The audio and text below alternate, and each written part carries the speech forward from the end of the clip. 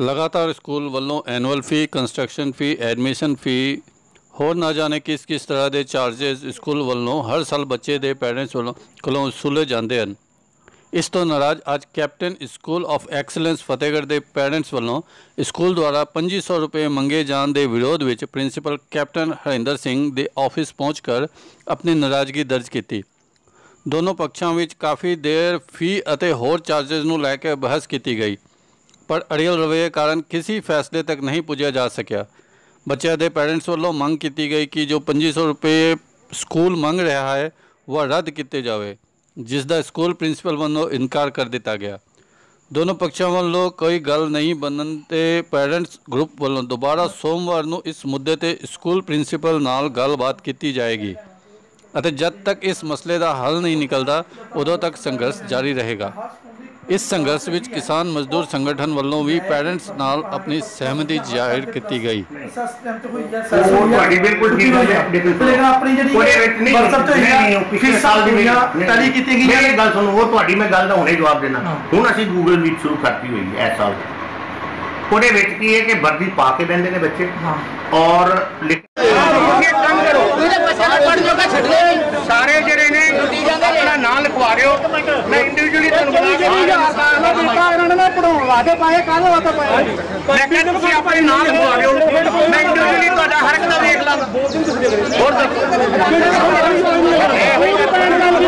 ਸਾਰਿਆਂ ਦਾ ਹੱਲ ਹੋਣਾ ਕਿਉਂ ਨਹੀਂ ਹੋ ਸਕਦਾ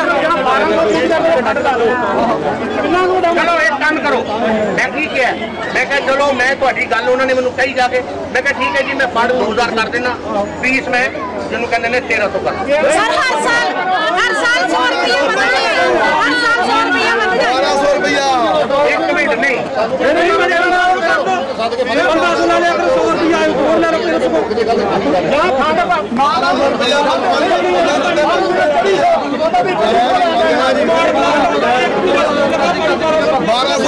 ਦੋ ਹਰ ਸਾਲ ਸਰ 100 ਰੁਪਏ ਮੰਗਦੇ ਚਲੋ ਆ। ਤੁਸੀਂ ਮੇਰੀ ਗੱਲ ਸੁਣੋ ਤੁਹਾਡੀ ਗੱਲ ਮੰਨ ਲਈ 1300 ਮੈਂ ਕਰ ਦੇਣਾ 1200 ਸਰਦਾਰ ਜੀ ਕਰੋ 1200 1300 ਜਿਆਦੀ ਆ ਜੀ ਇੱਕ ਕੰਮ ਕਰੀਏ ਫਿਰ 1200 ਤੁਸੀਂ ਇੱਕ ਮਿੰਟ ਗੱਲ 1200 ਰੁਪਏ ਨਾ ਕਰਾਓ 1200 ਇਹਨਾਂ ਨੇ ਲੈਸ ਲਈ ਹੈ ਉਹ ਫਿਰ ਵਾਪਸ ਨਹੀਂ ਮੇਰੇ ਕੋਲ ਨਾ ਆਉਣ ਜਿੰਨਿਆਂ ਨੇ ਵੀ ਲਈ ਹੈ ਲੈਸ ਨਾ ਲਿਆ ਜੇ ਮੇਰੇ ਕੋਲ। ਕੋਈ ਲੈਸ ਨਾ ਲਿਆ ਇਹਨਾਂ ਨੇ ਇੱਥੇ ਕਿੰਨੇ ਨੇ ਜਿਨ੍ਹਾਂ ਨੇ ਲਈ ਸਰਦਾਰ ਸਾਹਿਬ ਬੋਲੋ ਆਓ ਲੈਸ ਨਹੀਂ ਮੈਂ ਦੇਣੀ। ਜੇ ਲੈਸ ਮੈਂ ਨਹੀਂ ਦੇਣੀ ਕਿਸੇ ਨੂੰ। ਠੀਕ ਆ। ਮੈਂ ਤੁਹਾਡੀ ਗੱਲ ਮੰਨ ਲੈਣਾ ਇੱਕ ਮਿੰਟ। ਤੁਹਾਨੂੰ 2000 ਫੰਡ ਦੇ ਰਹੇ ਹੋ 1200 ਕਰ ਦੇਣਾ।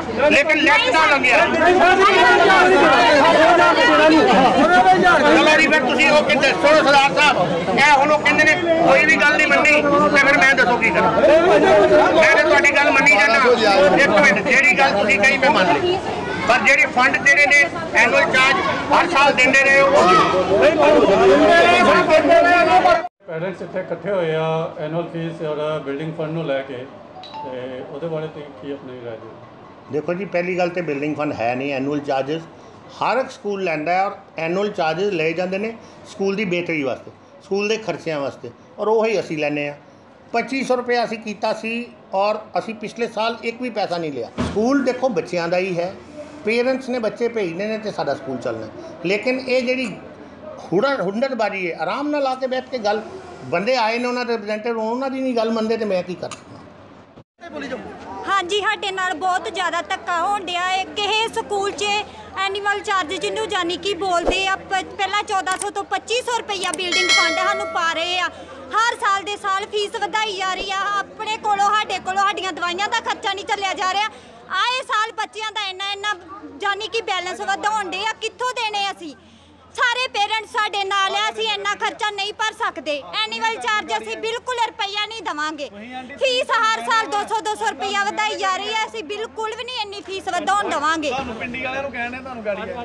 ਲੈਵਲ ਚਾਰਜ ਜੋ ਸਮਾਰਟ ਕਲਾਸ ਜੋ ਇਹ ਬਿਲਡਿੰਗ ਫੰਡ ਪਾਉਂਦੇ ਆ ਬਿਲਕੁਲ ਨਜਾਇਜ਼ ਪਾਉਂਦੇ ਆ।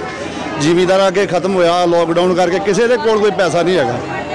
ਬਿਲਕੁਲ ਸ਼ਰੇਆਮ ਇਹ ਸਕੂਲ ਧੱਕਾ ਕਰਨ ਡਿਆ ਆ ਤੇ ਇਹਦਾ ਹੱਲ ਹੋਣਾ ਚਾਹੀਦਾ।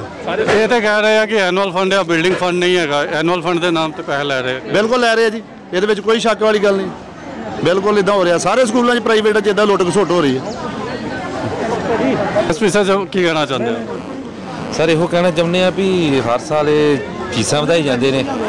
ਐਨੂਅਲ ਚਾਰਜ ਵਧਾਈ ਜਾਂਦੇ ਨੇ।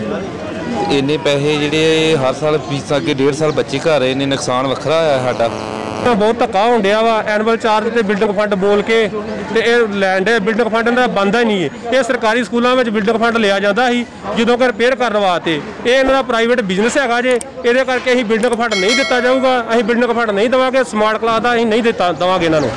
ਤੇ ਜੋ ਵੀ ਆੜ ਨਾਲ ਇਹ ਇਨਸਾਫ ਕਰਨ ਨਹੀਂ ਤੇ ਅਸੀਂ ਅੱਗੇ ਰੋਡ ਤੇ ਦੇਵਾਂਗੇ ਧਰਨਾ ਨਹੀਂ ਤੇ ਹੋਰ ਸਕੂਲਾਂ ਅੱਗੇ ਵੀ ਇਦਾਂ ਹੋਊਗਾ ਇਹ ਨਾ ਸੋਚਣ ਸਕੂਲ ਵਾਲੇ ਵੀ ਇਹ ਸਕੂਲ ਅੱਗੇ ਹੋਊਗਾ। ਇਹ ਹਰ ਇੱਕ ਸਕੂਲ ਅੱਗੇ ਇਹ ਪੇਰੈਂਟਸ ਨੂੰ ਇਹ ਬੇਨਤੀ ਆ ਕਿ ਸਾ ਵੱਧ ਤੋਂ ਵੱਧ ਸਾਡਾ ਸਹਿਯੋਗ ਦੇਣ ਤੇ ਦੂਜੇ ਸਕੂਲਾਂ ਅੱਗੇ ਵੀ ਜਾ ਕੇ ਧਰਨਾ ਦਿੱਤਾ ਜਾਊਗਾ। ਇਹ ਜਿੰਨਾ ਚਿਰ ਹੱਲ ਨਹੀਂ ਹੁੰਦਾ ਉਹਨਾਂ ਚਿਰ ਅਸੀਂ ਇਹ ਜਾਰੀ ਰੱਖਾਂਗੇ ਧਰਨਾ। ਅਸੀਂ ਉਹਨਾਂ ਚਿਰ ਪਿੱਛੇ ਨਹੀਂ ਹਟਣ ਵਾਲੇ ਹੈਗੇ। ਪ੍ਰਮੋਦ ਸ਼ਰਮਾ ਦੀ ਖਾਸ ਰਿਪੋਰਟ।